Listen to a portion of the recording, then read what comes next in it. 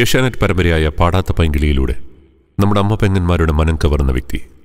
ചില കാരണങ്ങളാൽ അതിൽ നിന്ന് വിട്ടുനിന്നെങ്കിലും തന്റെ ജീവിതം സിനിമയിൽ ഒരു നായകന് വേണ്ടി മാറ്റിവെച്ചിരുന്നു. ഇടങ്കയിൽ തന്റെ കുടുംബത്തെയും വലങ്കയിൽ സിനിമാ മോഹവുമായി യാത്ര തുടങ്ങുമ്പോൾ പിന്നിട്ട വഴികൾ ഒന്നും തന്നെ ചെറുതല്ല. അപവാദങ്ങളും അവഗണനകളും കണ്ടും കേട്ടും തന്റെ മനസ്സിനെ കൈവിടാതെ നെഗറ്റീവിനെ പോസിറ്റീവാക്കി അയാൾ മുന്നേറി. ഇന്നിപ്പോൾ എത്തി നിൽക്കുന്നത് ആ വലിയ സ്വപ്നം യാഥാർത്ഥ്യമാക്കിക്കൊണ്ടാണ്. നമ്മുടെ കേരള ജനതയ്ക്ക് പുതിയൊരു നായകനായി തുടക്കം കുറിച്ചുകൊണ്ട് ഈ വരുന്ന ഫെബ്രുവരി രണ്ടിന് വെള്ളിയാഴ്ച കേരളത്തിലെ ഒട്ടുമിക്ക തിയേറ്ററുകളിലും അയാളെത്തും. അനുഗ്രഹിക്കുക ആശീർവദിക്കുക വിജയിപ്പിക്കുക. മൃദുഭാവേ ദൃഢകൃത്യേ. ഡയറക്റ്റഡ് ബൈ ഷാജോൺ എന്നിൽ സ്വർഗം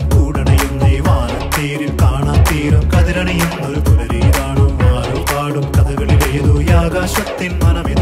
ഞാനോ യാകാശ്വത്തിൻ മനമിതു ഞാനോ